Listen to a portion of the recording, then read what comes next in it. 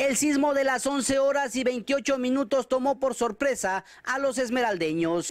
De que hemos tenido un sismo de 6.0 ya es la información definitiva. Tuvimos también una réplica de 5.1 donde el epicentro se dio en Atacama. El COE provincial se reunió de emergencia en las instalaciones del ECU 911. 24 viviendas fueron afectadas. Distintos barrios de aquí de la ciudad. Tenemos también eh, en un centro de salud algo de la mampostería que también nos han reportado que ha sufrido daño.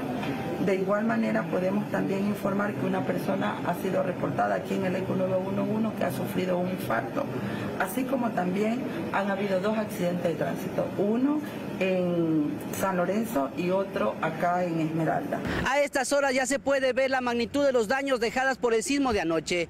En este momento el COE provincial se ha reunido para poder realizar un recorrido y evaluar y ayudar a las personas damnificadas. hemos tomado nosotros mismos la iniciativa de derrumbar lo que está ahí, lo que se pueda, y porque incluso cerrar porque hay cosas de valores. No se han reportado personas fallecidas por el sismo. Desde Esmeraldas, Carlos Chamorro, 24 horas.